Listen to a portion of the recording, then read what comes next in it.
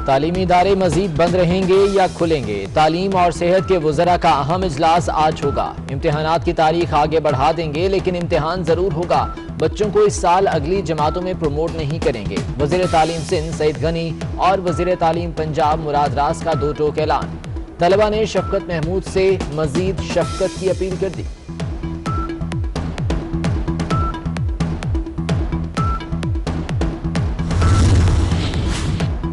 हुकूमत का हफ़्ते में दो रोज कारोबार बंद रखने का फैसला, जुम्मा और इतवार को कारोबारी मराकज नहीं खुलेंगे। महकमे दाखिला सिंध ने तहरीरी हुक्मनामा जारी कर दिया। सूबाई वज़ीर सेहत डॉक्टर अजरा पेचोहो का कहना है कि सात अप्रैल से कैदियों को कोरोना वैक्सीन लगाई जाएगी। पहले मरहले में पचास साल से ज़्यादा उम्र के कैदियों का नंबर होगा।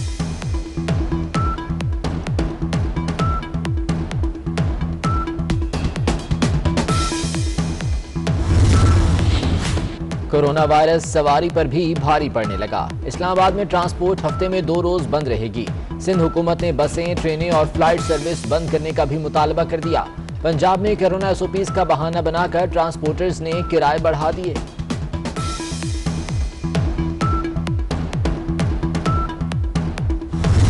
पंजाब और खैबर पख्तूनख्वा में कोरोना बेकाबू, पिशावर में मुस्बत केसेस की शरह 26 फ़ीसद तक पहुँच गई। लाहौर में 24 घंटे के दौरान शरह 21 फ़ीसद के करीब रिकॉर्ड, मुल्क में मजीद तैंतालीस मरीज़ इंतकाल कर गए। चार हज़ार तीन सौ तेईस अफराद में वबा की तस्दीक, अस्सी साल से ज़्यादा उम्र के अफराद की घर पर ही वैक्सीनेशन होगी।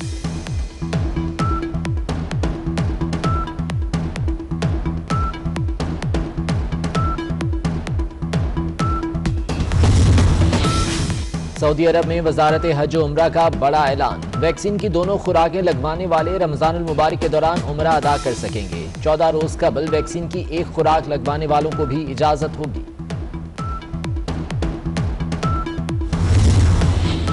सेनेट में बिखरी अपोजिशन हुकूमत के खिलाफ मुतहद मिलकर हुकूमत को पहली शिकस्त दे दी। महँगी वैक्सीन के फरोख के खिलाफ करारदाद मंजूर। पाकिस्तान में वैक्सीन आठ हज़ार चार सौ रुपए में मिल रही है। दीगर ममालिक में कीमत पंद्रह सौ रुपए है।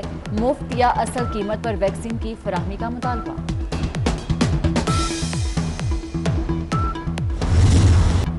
बाप के अरकान से वोट क्यों लिए? पीडीएम ने पीपल्स पार्टी और एएनपी को शोकॉज नोटिस जारी कर दिए। शाहिद खाकान अब्बासी बोले, एतमाद टूट जाए तो इतिहाद नहीं चलते।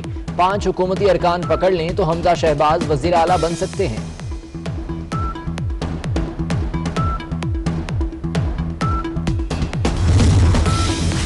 पीपल्स पार्टी का पीडीएम के शोकॉज नोटिस पर इजहार अफसोस। शोकॉज नोटिस के तरीकेकार पर तहफात का इजहार।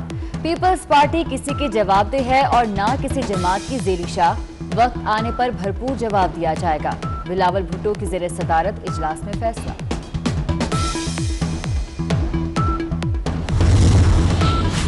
कराची के हल्का यानी दो सौ उनचास में जिमनी इंतखाब। मुस्तफ़ा कमाल के इलेक्शन लड़ने पर एम क्यूम रहनुमा वसीम अख्तर का तंज। कहा यह इलेक्शन पी एस पी के ताबूत में आखिरी कील साबित होगा।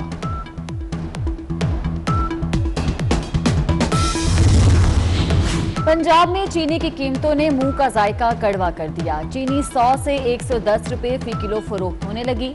वज़ीर आज़म ने किसी भी सट्टाबाज को ना छोड़ने का ऐलान कर दिया। सूबाई हुकूमत भी हरकत में आ गई। उस्मान बुजदार ने कहा, चीनी पचासी रुपए फ़ी किलो ही फरोख्त।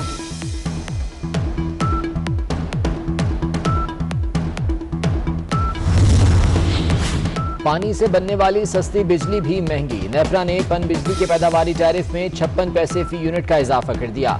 पन बिजली का टैरिफ चार रुपए ग्यारह पैसे फ़ी यूनिट हो गया।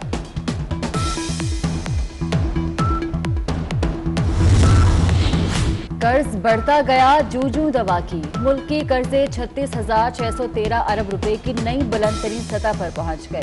पीटीआई हुकूमत के 30 माह में कर्जों में 48 फ़ीसद इजाफा रिकॉर्ड।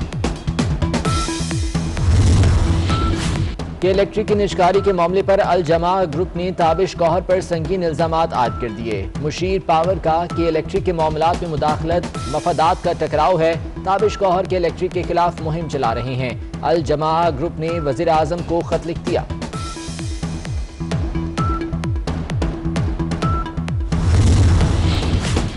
और बादल फिर लौट आए। इस्लामाबाद में गरज चमक के साथ बारिश। मुल्क के मुख्तलिफ़ इलाकों में आज तेज हवाओं के साथ बारिश और जालाबारी का इम्कान। लाहौर, जेहलम, गुजरावाला, सियालकोट और फैसलाबाद में भी बारिश की पेश गोई